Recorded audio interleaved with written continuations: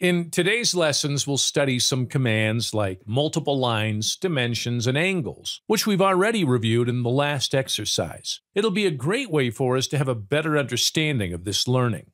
If you haven't watched our previous tutorials and videos, I might suggest you do so. Just click on our channel and go through our list to be better prepared for today's video.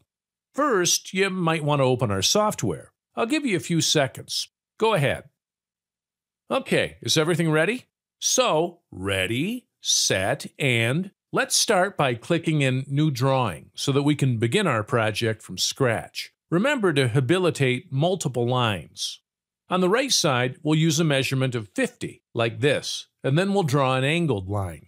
I want to remind you that for drawing an angled line, we position our mouse in a way that adds an angle to the thread. Are you done? Awesome! Then we'll insert the angle value or a formula. Click on OK and write the length of that line. Click on OK again. We'll keep doing that in every one of our angled lines, as shown. I know, I know, it might seem a bit tricky right now, but I promise you it will make sense in the long run. Trust me.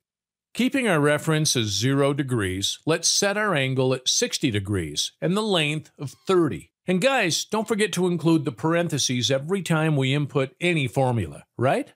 So inside the parentheses, we'll input 360 degrees minus 60 degrees, which results in 300 degrees. Thank you, Sherlock. then we'll add a length of 30.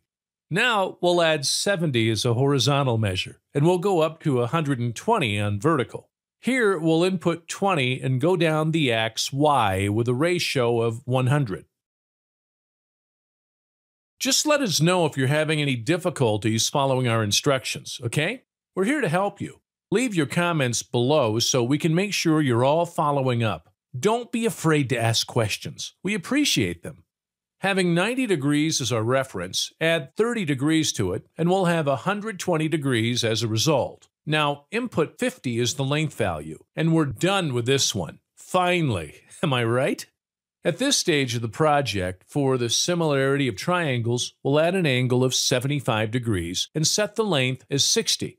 On the axis x, we'll input the value as 50, and we'll go towards below with a reference of 270 degrees, adding the formula 270 degrees minus 15 degrees, which will result in 255 degrees. If it doesn't, you're in trouble. Just saying.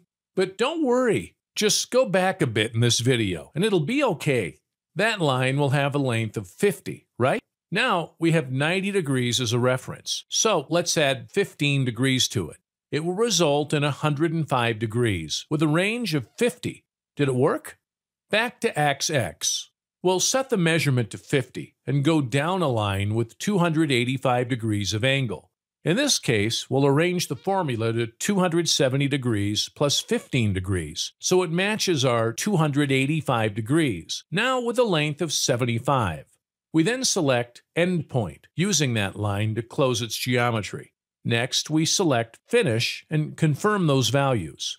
For an ending, let's erase some values that are not necessary in our drawing, okay?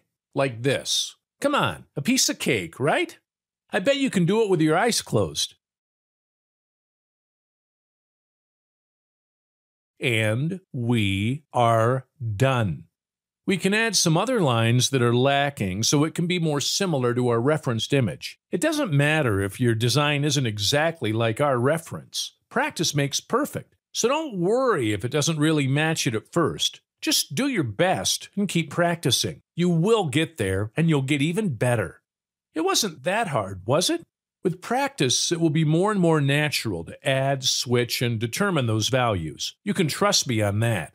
Soon enough, you'll be able to do many more features and designs if you keep up with our lessons and tips. And of course, keep on doing exercises to practice and push yourself to more challenging designs.